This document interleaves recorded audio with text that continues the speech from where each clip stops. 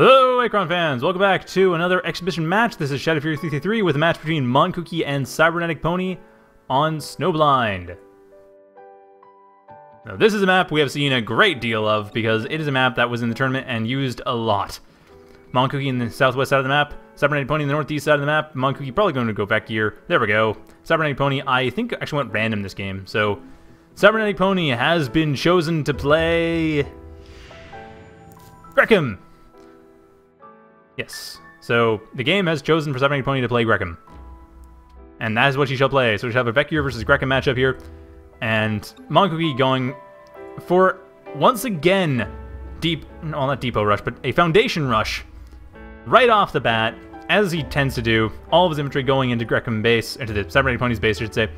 And we'll be setting up a bunch of foundations. Cybernetic Pony probably sees this coming. He probably knows this is happening. He does have an Arcticus going forward. It will scout out everything. Nice spot, by the way. I like this position for it. On the hill there.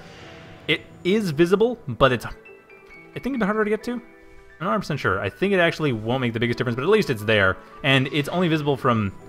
It's visible from fewer angles than it would be on the ground. But yeah, that's not the highest hill, so it is still fairly visible. If you see the, the way the cliff is, it's... There is still line of sight from the low ground. However, it might not be as visible. We'll see. Monkooky's forces not the biggest deal. What matters is that they will see the Arcticus, but more importantly, the Arcticus will see them.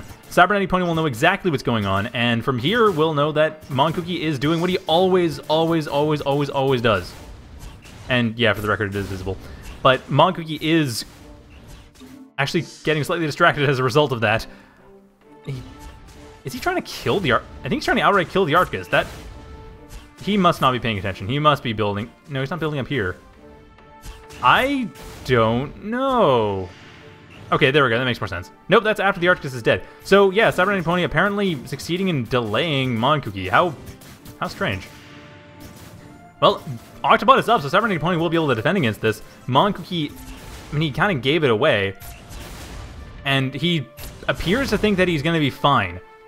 But he's not. So, that's really not going to work out.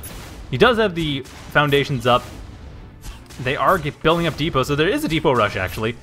That's the plan, at least, but Cybernetic Pony is going to put a very abrupt stop to that. The Arcticus isn't even going to die from the looks of it. The Octopod's just going to go forward, kill these guys off, and then we'll go on to the rest of the game. To the game proper. Unless Monkooky decides to not get greedy, kill the Arcticus, and then go in there and actually, you know, do his Foundation Rush when he could, the earliest possible time. That apparently is not on the cards. Although we'll see, Monkooky has jumped back to the 20 second mark. Is he going to... Okay, looks like he is still going for this somewhat. No, not really. He is going for a less cheesy strategy. Scouting out from the opening, but still, he is going for Zionveer to resource processors. So, more normal. Cybernetic Pony, however, building up the Octopod. There's really nothing to be lost from that. That's the thing to bear in mind. Cybernetic Pony going for a counterattack as well, but there isn't anything to be lost by going for an early Octopod. For Grekim, that's pretty bog standard. So Cybernetic Pony hasn't lost anything. It's not like Monkooky has somehow caused Cybernetic Pony to build something that he wouldn't want to, waste a bunch of resources, and then someone would take advantage of that in the later game. No, Cybernetic Pony would have done this anyway, or at least would have built the Octopod anyway. The remaining Octos in the counterattack, not necessarily, but the Octopod, yes, most certainly. However, Monkooky back at the one minute mark he does have the Zion Veer at home. He can build another one, but he'd have to get another foundation on top of that in order for it to be healed up. And Cybernetic Pony is probably going to pretty quickly tell that he doesn't actually need to go for an early attack. But he might just do it anyway. Cybernetic Pony will probably just do it. Just go for it. Like, why not? Just kill things. You, if you can kill it, you might as well just win the game outright. It's no reason to delay, no reason to stay in the game if you don't have to. Jumping up to the three minute mark, Cybernetic Pony jumping back, sorry, jumping back to the 220 mark, Cybernetic Pony is on this time wave. He does see his units in there. He's going for it once again, and I don't imagine the outcome is going to be that much different. Monkooky does, he does have the resources to make it different. He does have resources to build more units, build foundation to heal up. He could build a Zion Veer, and it looks like jumping back to the two minute mark, down from there, he will get a depot in time.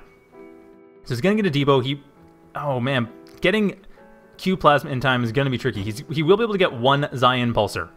A single Zion Pulsar. Against the Octopods and Octos here, well, if it weren't Monkooky, if it were not Monkooky, I say he was screwed. But Monkooky is the master of Depot Heal Micro. To the point that it he is the only reason why there's, or one of the main reasons there's any sort of discussion about it being broken. He is the undisputed master of Depot Heal Micro. So if anyone's going to be able to survive this by way of clever usage of Depot Heal, it would be Monkooky. But even then, it's still one Zion Pulsar against Cybernetic Pony's oct three Octos and an Octopod. That is still going to be very tough to deal with, with two Zion Pulsars, effectively. Possibly two Zion Pulsars. This is still going to be 30 seconds before this comes up, and that is... That is not as much time as Monkooky has.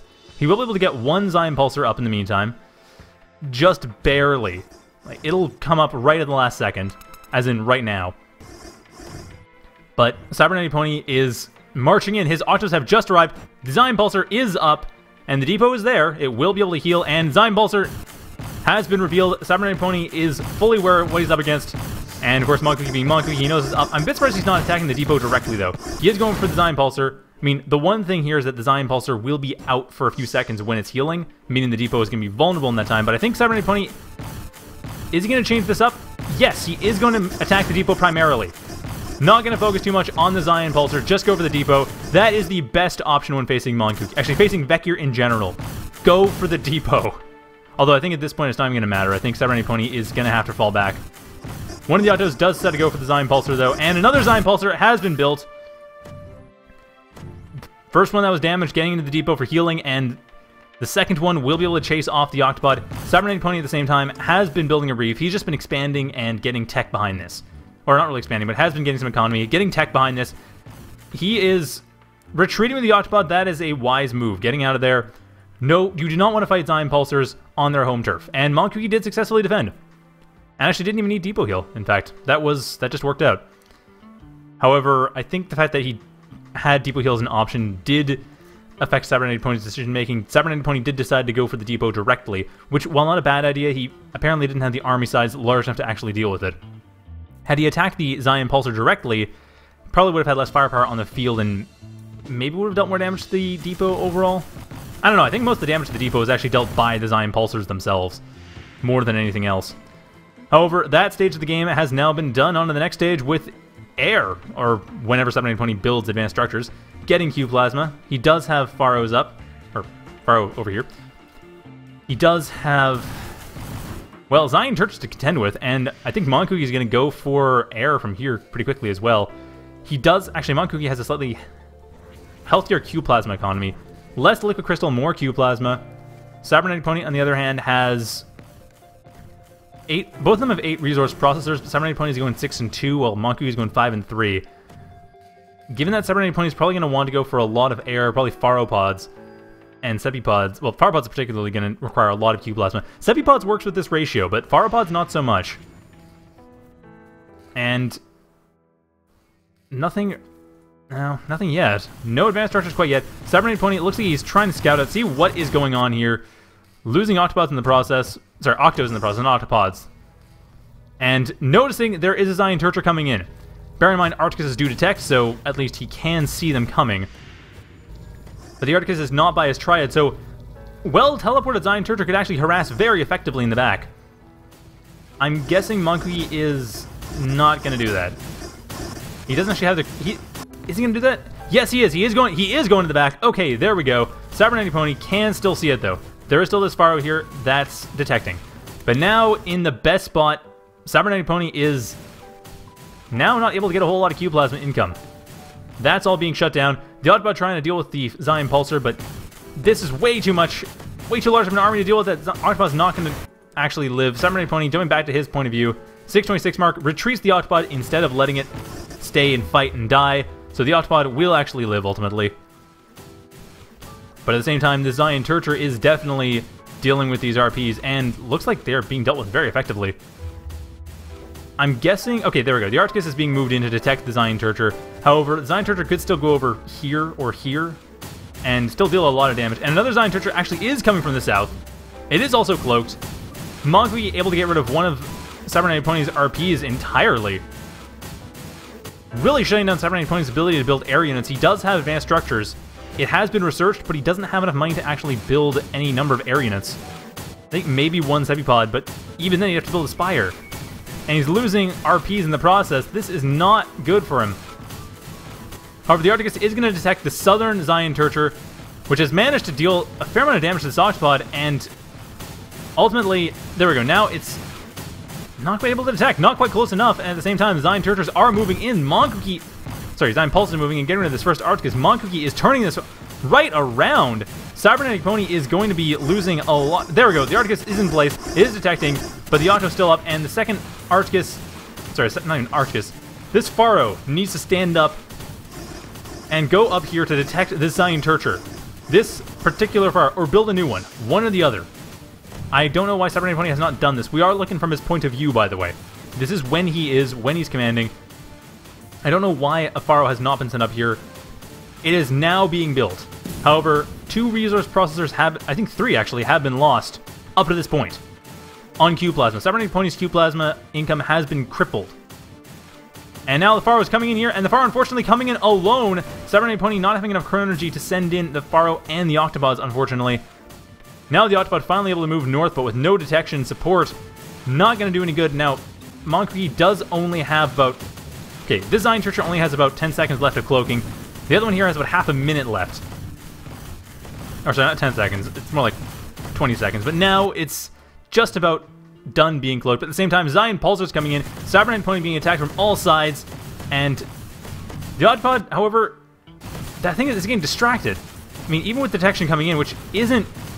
Okay, it doesn't matter. This, like I said, the Zion Turcher is no longer cloaked, out of energy for cloaking, and Pharo is coming in here to detect the other Zion Turcher and destroys it too. So Cybernetic Pony able to deal with everything. Getting rid of these two Zion Turchers and getting rid of ultimately Zion Pulsars, but still, that's a lot of damage being dealt. That was pretty crippling. And at the same time, Monkooky did get a Slipgate. He got Gate Tech. All the way to Gate Tech, got a Slipgate. He could Chronoport these guys back if he wanted to. And just teleport back, go for an uppercut with all this. I think he might actually be doing so, too. Let's see. And Zion Turcher coming back in. It'll probably heal up in the depot first. Or maybe not. Maybe it'll just... Is he just going to go in for an attack? No, he is... He, okay, good. He is healing it up. Now, Cybernetic Pony back at the 11 minute mark. He has gone for a counterattack. Fed up with the scrap, he's going back. He's going to try to get rid of Cybernetic Pony here, but that's... Sorry, try to get rid of Monkooky. He's not going to try to get rid of himself. That would be trivial to do. Just hit the surrender button. But he's not going to hit the surrender button and get rid of himself. He is going instead to try to get rid of Monkooky. A more challenging but more rewarding task. Now, of course, Monkooky does not have any cloak energy left in these things. A bit in this one, but hardly any in the one that just decloaked. So he could chronoport, and he is exactly, he's doing exactly that, chronoporting and teleporting them back in. That is, that's going to be tricky to pull off, though. I mean, this is at the same time that everything else was attacking. So this is earlier in the game. This Octopod here that's actually doing a pretty good job defending, does get destroyed. The Reef goes down as well. However, that Reef had very little healing energy to be, well, probably has a little healing energy left. Doesn't matter, though. This is actually going to do it from the looks of it. Cybernetic Pony having been pushed against the wall and unable to get any tech in the meantime. Now, he might jump forward, try to get chronoporting, and then jump back, but that Reef does die pretty handily. So I don't know. And this attack is not going to work out. Monkooky's chronoport departure already in the unplayable past. I don't even know if it's possible for Cybernetic Pony with chronoporting to deal with this, and he doesn't have another Reef. That's the thing. With no other Reef, he doesn't have any way of getting tech. So he is stuck here, going for this counterattack, hoping for the best, but even now, it's not going to work out. Unfortunately, Cybernetic Pony does lose everything, this damage here in the blue time wave, that is rep just wrecking Cybernetic Pony entirely.